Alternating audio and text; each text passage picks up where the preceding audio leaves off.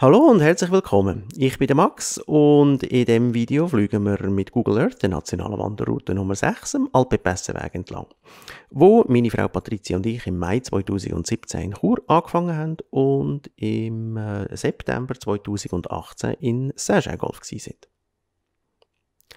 Angefangen haben wir, äh, wie gesagt, in Chur wo es äh, höhenmetermäßig zum Glück nicht ganz sehr stressig losgeht. Das ist grad, zum Anfangen ist das eigentlich äh, gar keine schlechte Wahl für uns im Nachhinein. Man läuft also da Felsenberg vorbei, kommt dann da auf Tamins, wo die erste Etappe eigentlich schon enden würde. Dann haben wir gesagt, ja, also das können wir jetzt doch nicht ganz machen und haben die zweite Etappe auch gerade angehängt. Ähm, das hat dann zur Folge gehabt, dass wir am ersten Tag schon 37 Kilometer gelaufen sind, was dann, äh, ja, okay, dann doch ziemlich anspruchsvoll war. Vor allem für die Füße. Man kommt dann also da am ersten Tag auf Ilanz, wo wir, wie immer, wenn wir im Bündnerland sind, zuerst unsere obligatorischen Kapuns essen müssen. Energiemäßig lohnt sich das auch, weil am nächsten Tag kommt man dann da ins Val Lumnezia, wo man dann doch wieder 26 Kilometer gemacht hat. Äh, das ist im Mai gewesen, wie gesagt, ähm, sehr schöne Bedingungen gehabt, alles hat blüht, es war schön warm gewesen. Und wir dann auch nach schlussendlich dann auf Vrien gekommen sind. An einem anderen Wochenende haben wir dann wieder in Vrien angefangen, leider bei Regen, aber ja, das ist ja gleich, weil beim Wandern kommt man ja sowieso warm über läuft dann also da durch bis zum Pass Disrut, wo man eine sehr schöne Aussicht hat auf die Greina Hochebene. Die durchquert man dann auch und läuft dann über Passo della Greina und übernachtet dann bei der Capanna Scaletta. Nächsten Tag geht es dann das Tal durchab, wo man dann, äh, wenn man Badhose dabei hat und warm genug ist, äh, gut kann im Bach in baden. Läuft da bei Plenio vorbei und kommt da auf Olivone, wo die Etappe eigentlich auch wieder würde enden. Da haben wir auch gesagt, das hängen wir wieder zusammen und laufen gerade einem Tag bis auf Aqua Galda. 24 Kilometer ist das auch nicht so äh, äh, strub gewesen.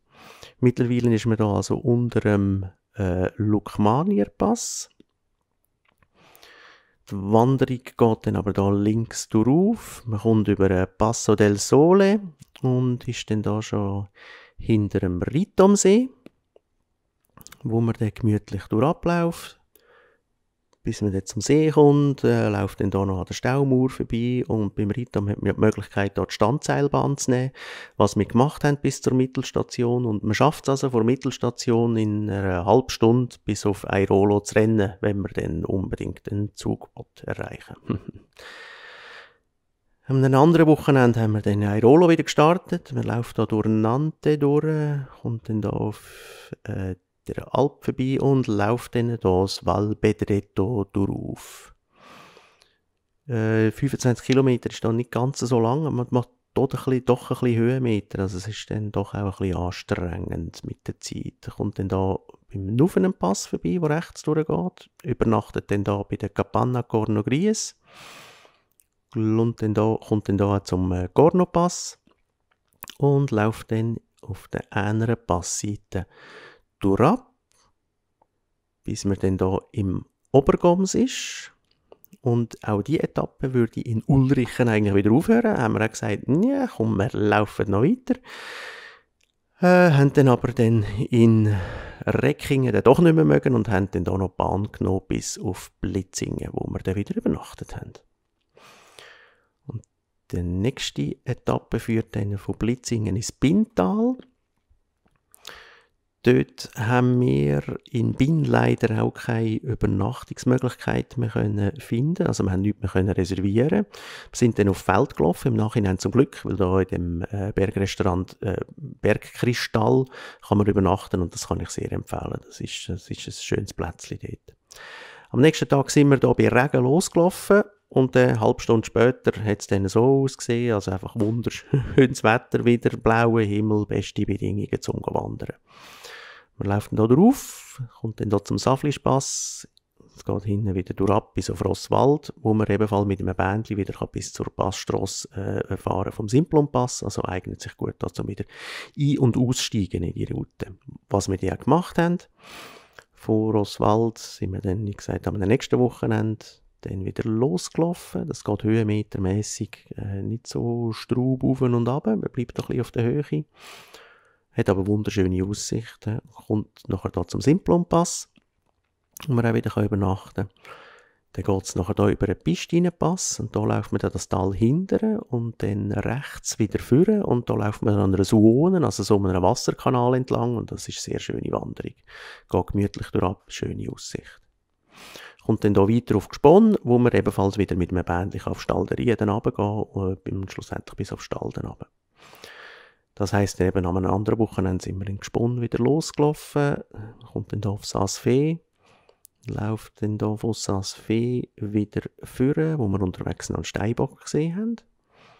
Und das geht nachher hier weiter bis auf Grächen. Das ist dann im Sommer, Ende Sommer 2017 gewesen, äh, sprich, dann im äh, 2018 haben wir dann nachher hier in St. Niklaus weitergemacht kommt dann da auf den Augsportpass, wo der schon zwei, knapp 2900 Meter hoch ist und läuft dann nachher durch ab auf Gruben, wo man nicht so einfach herkommt, sprich es lohnt sich dort wieder übernachten.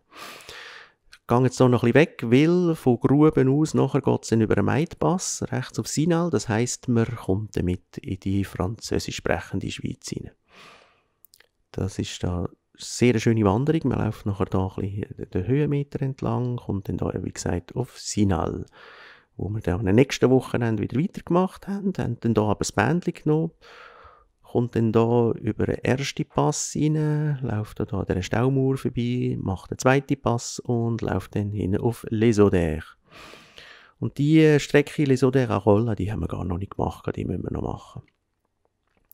Dann in Aurolla wieder gestartet, leider auch wieder nicht so bei schönem Wetter, aber es äh, war eigentlich auch egal gewesen, weil wir haben doch noch genug gesehen und es ist eigentlich schön gewesen. Man kommt dann aber Golderie de Matte und ist dann da hinter dem Grand Ixos, Staumauer von Grand Ixos, wo man dann bei der Cabane de Prafleury übernachtet. Und die Strecke jetzt hier, Gabon Prafleury bis auf Mauasin, ist nur 22 Kilometer lang, aber dort haben wir am längsten gebraucht. Das ist irgendwie jetzt eine halbe Stunde sind wir unterwegs gewesen.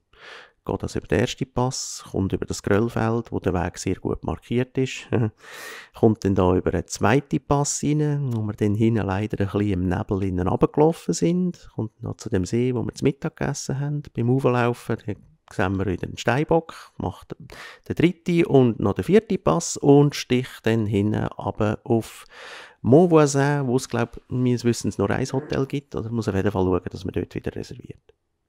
Von Montvoisin sticht es dann ziemlich steil drauf.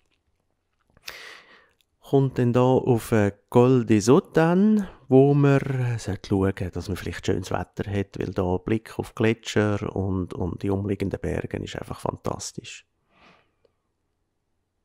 Und dann vom Pass geht es äh, durch ab, geht ein bisschen am Gletscher entlang, läuft dann da höhenmetermäßig, geht es dann ja, ein bisschen durch ab. Ähm, 21 Kilometer ist die Etappe da, wo man äh, bis zur Caban Golde Mil geht.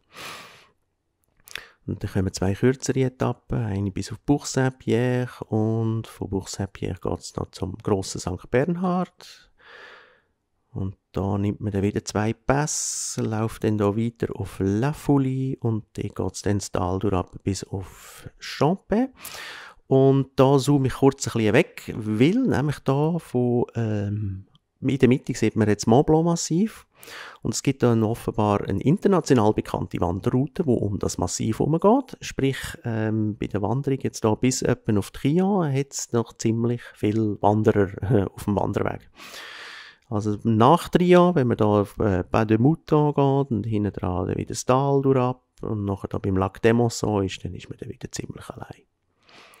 Im Lac d'Emosson geht es dann da auch wieder äh, eine Route, wo man wieder zwei Pässe gleichzeitig macht, wo es uns äh, ziemlich stark verregnet hat. Wegen dem haben wir dann da in der äh, Cabane dann auch ein Zimmer äh, frei gehabt und das hat sich dann gelohnt. Also einen Tag wieder Regen gehabt und am nächsten Tag wieder das schönste Wetter, wo man dann mit zum Glück trockenen Kleidern können weiterlaufen Kommt dann hier über einen Pass, wo man dann fast ein bisschen muss klettern muss vor dem Pass. Das war recht steil. Hinten geht es dann wieder durch ab. Man macht dann hier ein bisschen Höhenmeter, läuft ein bisschen rauf, läuft ein bisschen runter. und kommt dann da auf Barma, wo die Etappe eigentlich auch wieder würde enden haben wir leider auch nicht mehr können reservieren also sind wir da der Kreten entlang weitergelaufen, kommt dann da mal kurz zur Grenze und wir sind dann weitergelaufen mit einem Gewitter im Rücken bis auf Lake Jose, wo wir dann dort wieder übernachtet haben. Von dort geht es dann weiter und die eigentliche Etappe wird links am Talboden entlang ähm, laufen. Wir haben aber da auch wieder die Krete genommen und haben dann das Bändchen genommen bis auf Margin.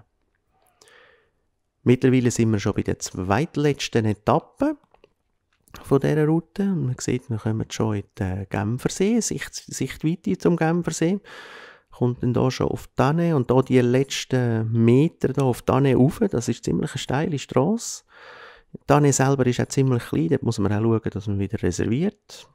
Und bei der letzten Etappe macht man noch meist die letzten Höhenmeter, kommt auf die schöne Alp vorbei und läuft dann hinten der Grenze entlang bis auf Saint-Jean-Golf.